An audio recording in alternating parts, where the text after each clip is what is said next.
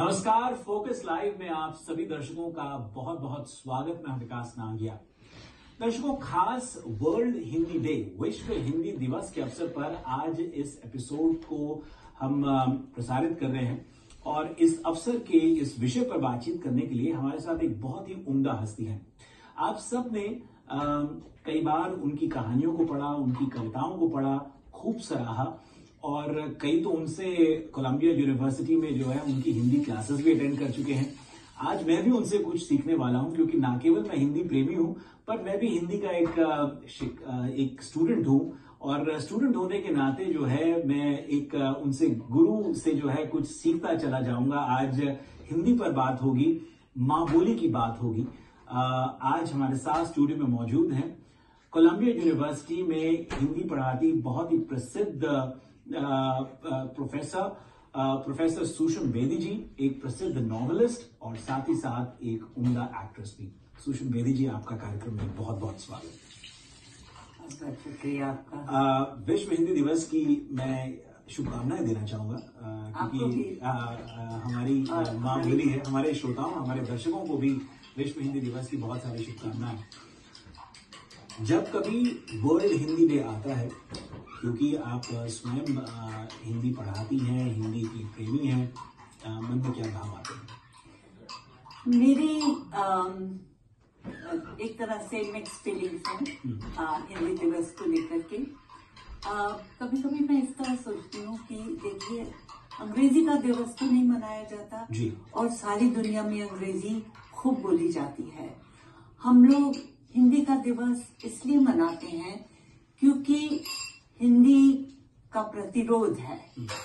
बहुत से लोग हैं जो हिंदी को नहीं चाहते और चूँकि उन्नीस में आ, हिंदी आ, को राजभाषा का की पदवी दी गई संविधान में जी। तो आ, फिर ये महसूस किया गया कि बहुत से लोग हैं जिन्होंने हिंदी को सम्मान दिया है मान दिया है हम्म। कि वो इस देश की भाषा हो सकती है जी।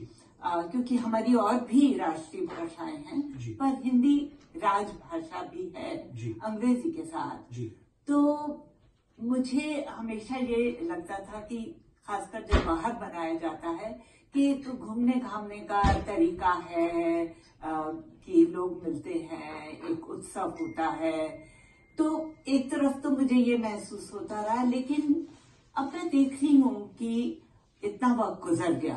जी। सोचिए नाइनटीन फिफ्टी थ्री से हिंदी दिवस मनाया जा रहा है। जी। और एक बात थोड़ी सी ये कहना चाहती हूँ कि वैसे हिंदी दिवस 14 सितंबर को मनाया जाता है। जी जी। लेकिन पिछले दस बारह सालों में एक जितने भी हिंदुस्तानी हैं जो एनआरआईज हैं वो भारत जाते थे। हम्म। तो भारत सरकार को लगा कि ये कि एक तरफ़ तो विश्व में हिंदी बोली जाती है हम्म। और सारे जो विश्व के लोग हैं हिंदुस्तानी वो इन दिनों जनवरी के महीने में वहाँ होते हैं तो अब 10 जनवरी को विश्व हिंदी दिवस बनाया जाता है। तो इस तरह से सच बात तो ये है कि ये मेरा अगला सवाल था कि ये कैसे था कि विश्व हिंदी दिवस पहले सितंबर में मनाया जाता था और अब देखते ही देखते पिछले कुछ सालों से एक प्रचलन सा बन गया।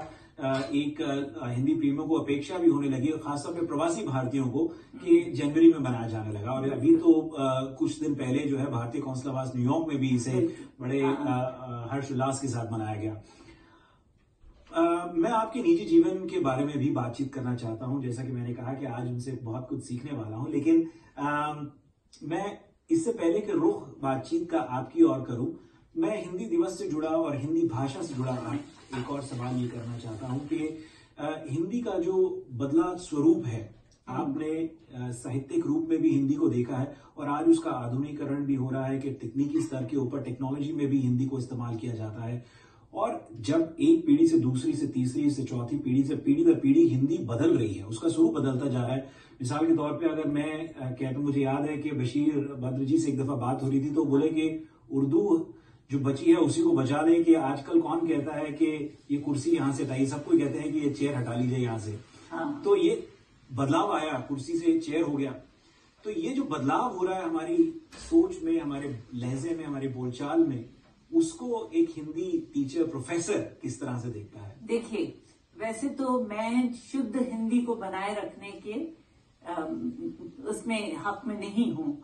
और मुझे लगता है कि हिंदी का विकास होते रहना चाहिए और जो बाहर से शब्द आते हैं उसमें वो बने रहने चाहिए। और बहुत अच्छी बात है वो कि हर भाषा का इस तरह विकास होता है। अंग्रेज़ी में भी हिंदी के शब्द बहुत से आ जाते हैं। इस तरह से हिंदी में भी अगर अरबी फारसी और दूसरी भाषाओं के शब्द आते हैं तो बहुत अच्छी बात है। लेकिन मुझे थोड़ी तकलीफ़ होती है जब मैं देखती हूँ कि हम खाली जो ग्रामर है वो हिंदी की रखते हैं और बाकी सारी जो वोकेबलरी है जो शब्दावली है वो सारी अंग्रेज़ी की डाल दें तो वो उस तरह से तो भाषा की जो अपनी अभिव्यंजना शक्ति है अपनी जो एक्सप्रेसिव एक्सप्रेस करने की जो शक्ति है वो तो नष्ट होती जाएगी। जी, जी. लोग इस्तेमाल ही नहीं करेंगे हिंदी के शब्दों का। तो जब बहुत ज़्यादा लोग अंग्रेज़ी एक छोटे से अंतराल के बाद हम हाजिर हैं फोकस लाइव के साथ और हमारे साथ आज स्टूडियो में मौजूद हैं कोलंबिया यूनिवर्सिटी में हिंदी पढ़ाती प्रोफेसर सुषमा सुषम बेदी जी। प्रोफेसर जी आपका एक बार फिर से कार्यक्रम में सुषम जी आपका कार्यक्रम में बहुत बहुत स्वागत। ब्रेक से पहले हमने बातचीत करी विश्व हिंदी दिवस के बारे में।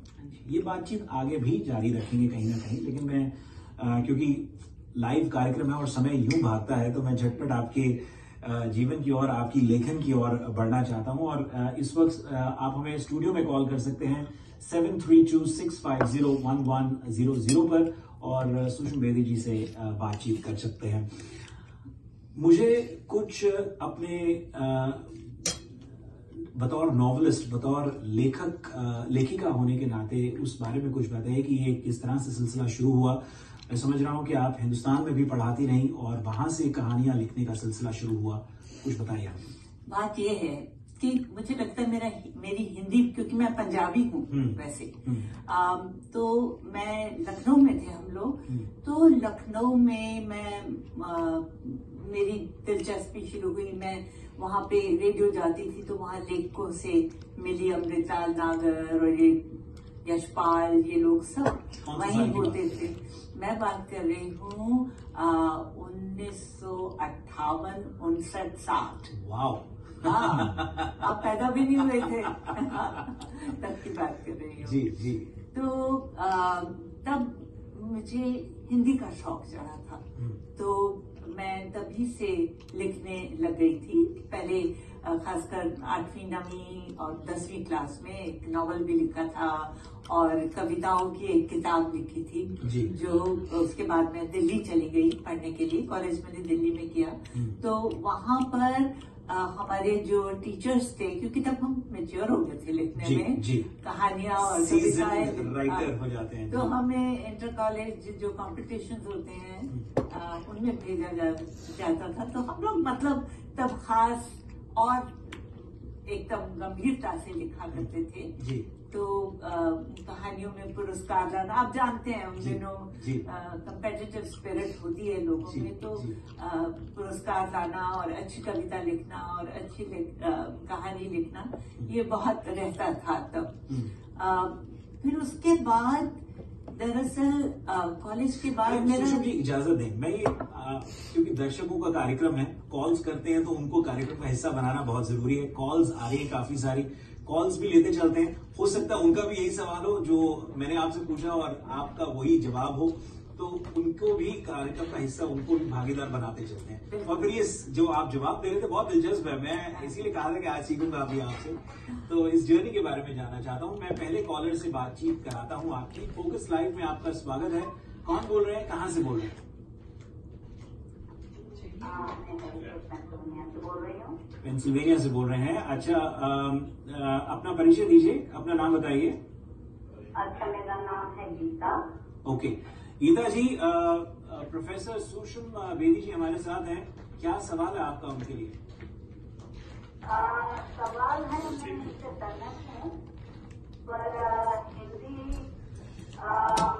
भाषा इतनी ज़रूरी है।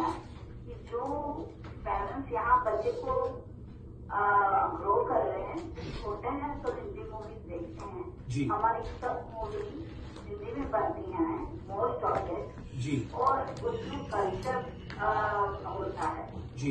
तो अदर जो पेरेंट्स को रेज करने में कल्चर समझाने में आसान हो जाता है जी जी। हिंदी तो बहुत ज़रूरी है। जी जी। और इससे क्या है कि यहाँ के बच्चे जब बड़े होते हैं फ़ैन होते हैं most intelligent in their field but they don't know Hindi. We miss out a lot who are like South Indian community raising children here. जी So uh, there should be something done about it in this country. जी अगर than they will not uh, read any book even,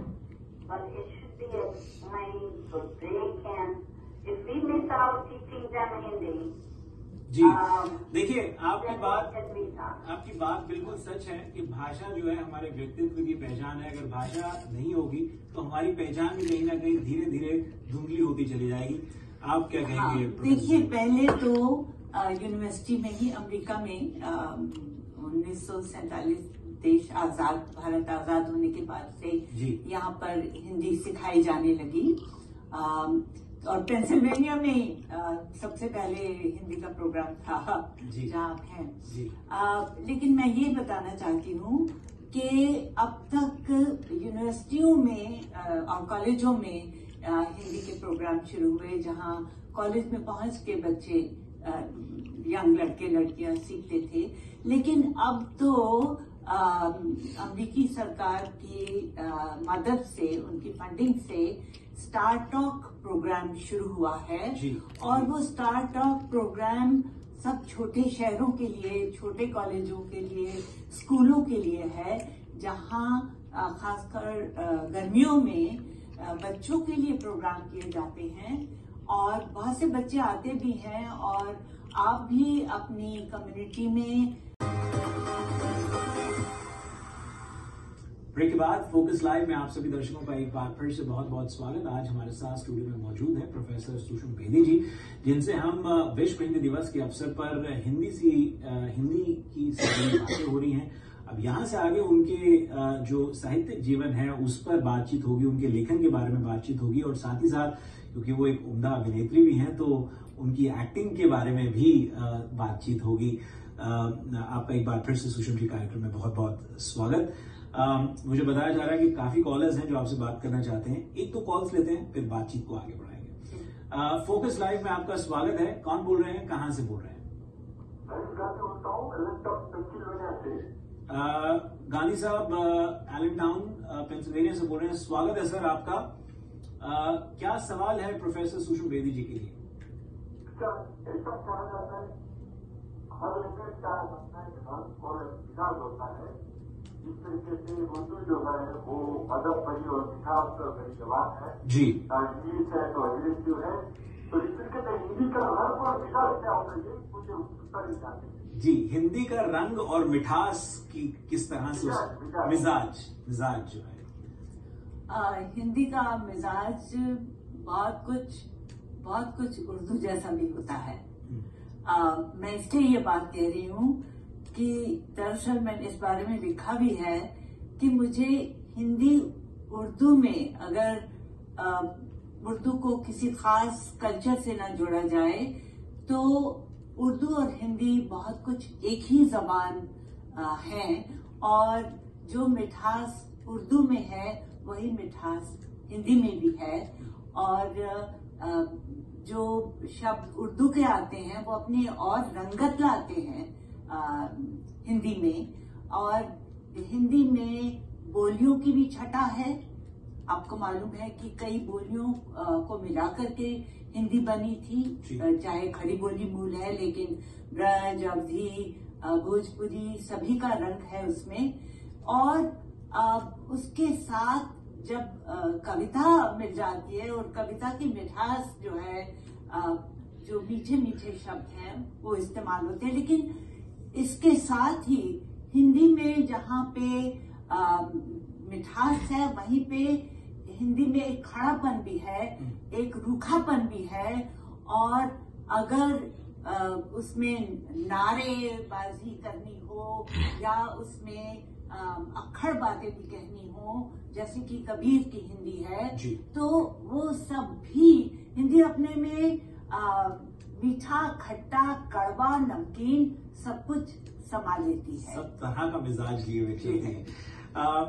Gandhi साहब, हमारे साथ Pennsylvania से जुड़ने के लिए आलन टाउन से बहुत बहुत धन्यवाद। मैं सुशु की बात हवन की करना चाहता हूँ। ये किताब, आपकी पहली किताब और कई भाषाओं में छपी है। क्या विशेष रहा इस किताब के अंदर जो इसको अन्य भाषाओं में भी लिखा गया ट्रांसलेट किया गया और लोगों ने इसको इतना लोकप्रिय बनाया इसको इतनी लोकप्रियता मिली? सामान्य तौर पर तो आप कह सकते हैं कि ये जो भारतीय आवासी हैं जी। उनकी कहानी है। जी। लेकिन बहुत कुछ जो मैंने अपने नजदीकी लोगों के साथ महसूस किया खुद महसूस किया जब यहाँ क्योंकि मैं नई नई तब अमेरिका आई थी तो आपके आपका जो अनुभव होता है उसमें एक ताजगी होती है। और आप औरों के साथ भी जुड़ते हैं उनका अनुभव देखते हैं और बहुत कुछ उसके साथ अपने को एक एक तरह का आपका तादाद में उनके साथ भी होता है। जी। तो बहुत कुछ अपने मित्रों परिवार सबके साथ देखते हुए एक दिन आ, मैं मेरी बहन हवन करती हैं तो मैं ऐसे ही एक दिन आ, एक हवन में बैठी थी जब ये जैसे सब कुछ जेल हो गया हम्म। आ, कहानी बनती गई और आ, उस हवन में आ, मुझे एकदम पूरा का पूरा उपन्यास एक तरह से हम्म। दिमाग में आया और फिर मैंने इसको लिखना शुरू किया एक, जो खास आपके लेखन की विशेषता मैंने देखी है कि ऑब्वियसली जैसे कि कहते हैं, वैसे तो ये फ़िल्मों के लिए कहा जाता है कि cinema is the reflection of society and society is the reflection of cinema यही बात अगर हम लेखन की भी करें तो ये बात ऐसी है कि सोसाइटी जो है साहित्य से प्रेरणा पाती है और साहित्य भी जो है समाज से ही प्रेरणा पाता है। और ये बात आपके लेखन में नज़र आती है कि आपने साउथ एशियन डायस्पोरा की इर्द गिर्द की कहानी क्योंकि वो ऑब्ज़र्व कर रहे हैं। आप इस देश में देख रहे हैं कि किस तरह से वो रह रहे हैं उठ रहे हैं रहन सहन कैसा है उसको आपने अपने लेखन में यहाँ की कहानी कंटेम्प्रेरी स्टाइल में आपने उनको लिखा है। क्या ये एक वजह मैं कह सकता हूँ कि जो लोकप्रियता या प्यार स्नेह आपको प्रशंसकों से मिला ये एक वजह थी? मुझे लगता है कि खास तौर से मैं हवन की बात करूँगी। हवन न्यूयॉर्क यूनिवर्सिटी में जी मैं कॉल लेता हूँ। एक सॉरी और फिर इस पर बातचीत को जारी रखेंगे। फोकस लाइव में आपका स्वागत है। कौन बोल रहे हैं? कहाँ से बोल रहे हैं? Hi, this is Monica from the Monica, uh, welcome to the program. Thank you so much for calling in and uh, being part of Focus Live. आज विश्व हिंदी दिवस के अवसर पर हम प्रोफेसर सुषम बेदी जी से बात कर रहे हैं। क्या सवाल है आपका? yeah, uh,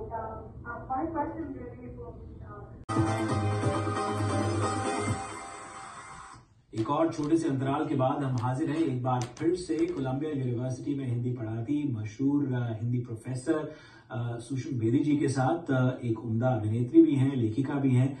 कार्यक्रम में आपका एक बार फिर से बहुत बहुत स्वागत। ब्रेक से पहले कॉलर्स के भी बड़े अच्छे से अच्छे सवाल थे। और कहीं ना कहीं उन सवालों के बीच में मेरा जो सवाल था कि आप साउथ एशियन डायस्पोरा को लेकर के आपने काफ़ी कुछ लिखा और उससे आपको जो प्यार स्नेह यहाँ की डायस्पोरा से मिला क्या वो एक मुख्य वजह रही आपको प्रेरणा मिली लिखने में हाँ। भी और लोकप्रियता भी मिलने में बिल्कुल दरअसल एक जब आप लिखने लगते हैं तो आपको लगातार प्रेरणा चाहिए होती हम्म, है हम्म। तो फिर प्रेरणा की वजह बनते हैं लोग हम्म। पाठकों की चिट्ठियाँ हम्म। उनकी ईमेल्स बहुत सी चीज़ें हैं जो आपको लगता है कि आपको पढ़ा जा रहा है और आप एक तरह से अपने लेखन को लेके और गंभीर होते हैं और प्रेरणा तो कहीं से कभी भी आ जाती है जी जी तो कोई छोटी सी बात बहुत से लोग अब मेरे दोस्त लोग हैं या परिवार के लोग हैं उनकी ही कुछ बातें अगर उन्होंने कही तो जैसे मेरे अ, मेरे पति ने अ, मेरी बेटी को वो गाड़ी सिखा रहे थे। जी जी। तो वो उसको कह रहे थे कि अ, सड़क की लय होती है हम्म। तो उसको समझना चाहिए तुम्हें। और तब मुझे लगा कि मुझे एक मेटाफर मिल गया है हम्म। अ, और मैंने कहानी लिखी वो एक्चुअली वो पढ़ाई भी जाती है बहुत जगह पढ़ाई जाती है वो ऑनलाइन मौजूद है। तो उसका नाम रखा सड़क की लय और वो सारी कहानी जो है वो एक तरह से सड़क की लय के माध्यम से जीवन की लय को समझने की कहानी है या आई थिंक ये मेटाफॉर जो एक लीड मिल जाती है हाँ। वहाँ से बत, और मैं बताना चाहूँगा कि बहुत से दर्शकों को यूँ तो मालूम ही है लेकिन जिनको नहीं मालूम उन्हें बता दूँ कि सुषम जी की बेटी जो है पूर्वा बेदी वो भी एक बहुत ही उम्दा कलाकार हैं मेन स्ट्रीम टेलीविज़न में काफ़ी काम कर चुकी हैं। यहाँ की जो इंडियन डायस्पोरा की जुड़ी जो फ़िल्में हैं, जिनको हम क्रॉस ओवर सिनेमा कहते हैं उनमें भी कर चुकी हैं सिनेमा और ऑफ़ ब्रॉडवे शोज़ भी कर चुकी हैं और कर रही हैं। और सबसे बड़ी बात है कि बहुत अच्छी इंसान है पूर्वा बेदी उसके लिए आपको बहुत सारी बधाई मैं देख रहा हूँ कि माँ का दिल कैसे बाग बाग हो जाता है बेटी के लिए जो है उनकी प्रशंसा सुनकर के। मैं आपको अगले कॉलर की और बातचीत करता हूँ और फिर आपके एक्टिंग करियर के बारे में भी बात करेंगे। फोकस लाइव में आपका स्वागत है। कौन बोल रहे हैं? कहाँ से बोल रहे हैं? मेरा नाम है शीला। हम लोग से बोल रही हूँ। शीला जी बहुत बहुत स्वागत आपका। सुषम बेदी जी हमारे साथ हैं। क्या सवाल है आपका उनके लिए? मेरा सवाल ये है कि देखिए हम हिंदी तो सिखाते हैं। वो उनका क्या है? जो वहाँ पे अपने देश से आते हैं उनको भी तो हिंदी सीखनी चाहिए यहाँ पे आके। ठीक है बिल्कुल अच्छा सवाल है। क्या कहेंगे वो तो सीखते ही हैं। उसके बिना उनका गुजारा कहाँ है? नहीं सीखते बहुत लोग नहीं सीखते। मैं खुद डॉक्टर हूँ मुझे पता है। मरीज़ आते हैं। हाँ। अच्छा। कहते हैं कि वो लोग अपनी हिंदुस्तानी के चक्कर में रहते हैं। मेरा मतलब है कि उनको दोनों चीज़ें सीखनी चाहिए। बिल्कुल सही कहा आपने। सही कहा उनको अंग्रेज़ी का तो श्रम आता है कभी कभी कभी। हाँ उनके आदमी आके बात करते हैं। हाँ और फिर उनको बात भी करते हैं। वो कहते हैं कि हमारे आदमी लोग दमी लेते हैं। जी जी हाँ। जी।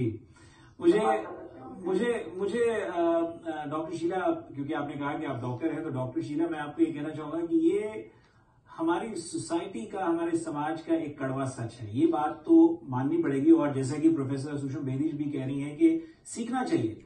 जिस देश में रहते हैं आए हैं। जी बिल्कुल। देश में आए हैं। जी। आपकी भाषा भी सीखो अपनी हिंदुस्तानी बिल्कुल बिल्कुल बिल्कुल। आपकी बात से पूर्णतः रूप से सहमत है और भाषा ही क्यों? अन्य तौर तरीकों को भी सीखना चाहिए उनको अपनाना भी चाहिए उनको स्वीकारना चाहिए और साथ ही साथ जो हमारी संस्कृति है उसको जो हमारी पहचान है उसको भी हाथ से जाने नहीं देना चाहिए उसको भी पकड़ के संभाल के रखना चाहिए। तो बहुत अच्छा सवाल और मुझे लगता है कि आपकी बात कहीं ना कहीं कुछ अच्छा संदेश दी जाएगी हमारे व्यूअर्स को। देखिए वो मुहावरा है ना जैसा देश वैसा भेस वो तो पुराना चला आ रहा है। जी। तो अंग्रेज़ी तो मैं मानती हूँ कि सीखते ही हैं। खासकर हिंदुस्तानी बच्चे तो मैंने देखा है हमेशा क्योंकि मैं बच्चों का शायद बड़े नहीं सीखते यहाँ बड़े होने के बाद आते हैं तो। लेकिन हमारे बच्चे तो स्कूल में जाते ही हिंदुस्तानी सीखने लगता मीन बच्चों को घर में हिंदुस्तानी जब सिखाओगे हिंदुस्तानी खाना खिलाओगे तब उनकी हिंदुस्तानी आदतें बनेगी।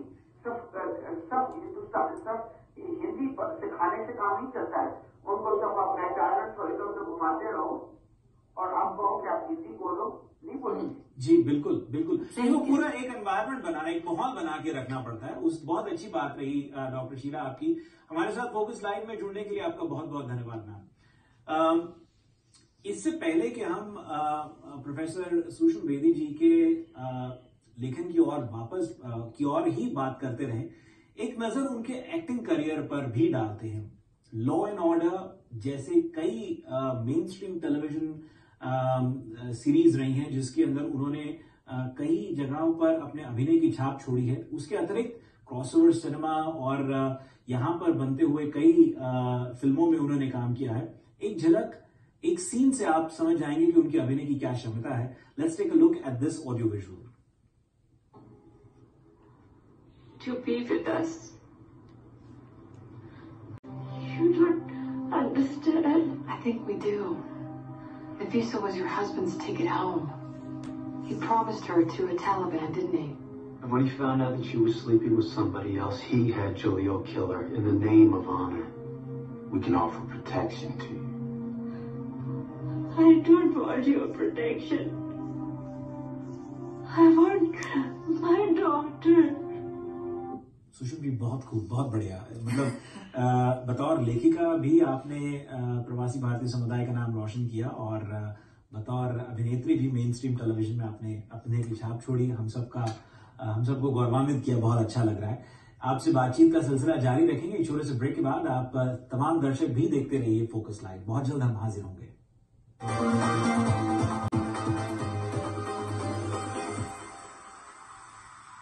लाइव में आप सभी दर्शकों का एक बार फिर से बहुत बहुत स्वागत। मैं हूँ विकास नांगिया आज हमारे साथ स्टूडियो में मौजूद हैं प्रोफेसर सुषम बेदी जी एक प्रसिद्ध अभिनेत्री और साथ ही साथ मशहूर लेखिका हिंदी पढ़ाती हैं। वो कोलंबिया यूनिवर्सिटी में प्रोफेसर सुषम बेदी आपका एक बार फिर से कार्यक्रम में बहुत बहुत स्वागत बहुत आनंद मज़ा आ रहा है। और कॉलर्स जो हमारे साथ भाग ले रहे हैं कार्यक्रम में बहुत अच्छे सवाल बहुत कारवां एक सिलसिला बहुत अच्छा चलता चला आ रहा है। ब्रेक से पहले हमने आपके एक्टिंग की जो मैं कहूँगा कि क्लिप्स को देखा एक्सर्प्स को देखा, बहुत एंजॉय किया। बहुत से ऐसे यहाँ पर प्रवासी भारतीय हैं जो प्रयास कर रहे हैं मेन स्ट्रीम टेलीविज़न में, फ़िल्मों में कदम रखने के लिए। और कई बार ऐसा होता है कि वो अपनी ओरिजिनलिटी को भूल बैठते हैं। आपने जो किरदार किया, मैं एक क्लिप और मैं व्यूअर्स को दिखाना चाहता हूँ रॉयल पेंट्स का, जहाँ पर रेशमा शेट्टी के साथ आपने वो किया था। अब वो एक सीन देखते हैं, फिर ये सवाल को भी पूरा करूँगा। Let's take a look at that audio visual thank you for being here today you are her favourite you know she loved when you were a little girl and would order the boys around she really loved how you insisted they call you doctor Katare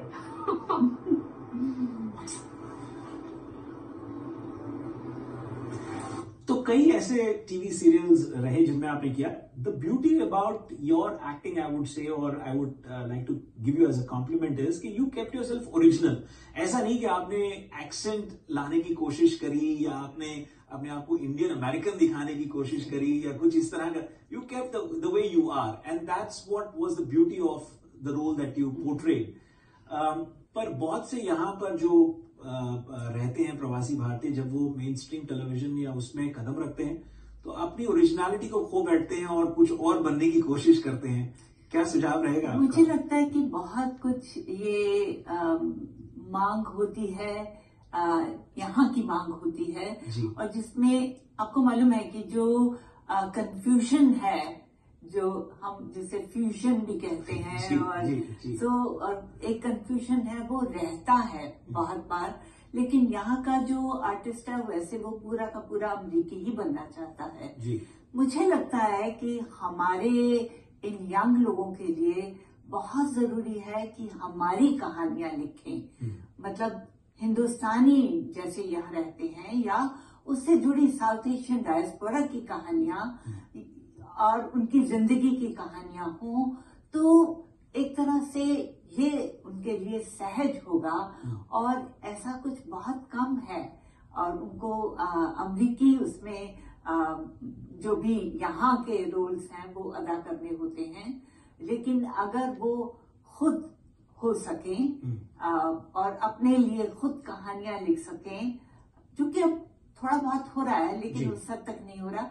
तो एक तरह से कि पूरा का पूरा जो expression है वो हमारे यंग आर्टिस्ट को यहाँ मिल सकता है। उससे काफ़ी उनको वेटेज काफ़ी मनोबल भी बढ़ेगा बिल्कुल। सुषम जी लगभग तीन चार मिनट बचे हैं कार्यक्रम खत्म होने के लिए। कॉलर्स का सिलसिला अभी भी जारी है। एक कॉल लेते हैं। निवेदन आपसे यह है कि छोटा आंसर रखिएगा और फिर आखिरी सवाल से बातचीत को खत्म करेंगे। फोकस लाइव में आपका स्वागत है। कौन बोल रहे हैं? कहाँ से बोल रहे हैं? मेरा नाम शीला है। मैं बोल रही हूँ।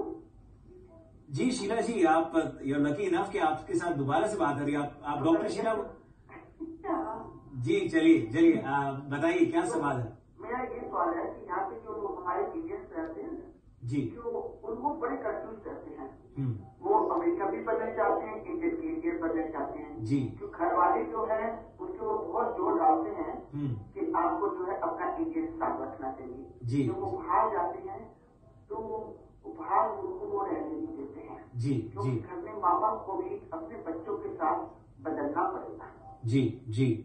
हाँ ये थोड़ा सा विषय से अलग एक सवाल है लेकिन विचार मैं चाहूँगा प्रोफेसर साहब आप ही कुछ कहना चाहेंगे तो। बात ये है कि मूलतः क्योंकि हमारे हमारे बच्चे दो दुनियाओं में रहते हैं।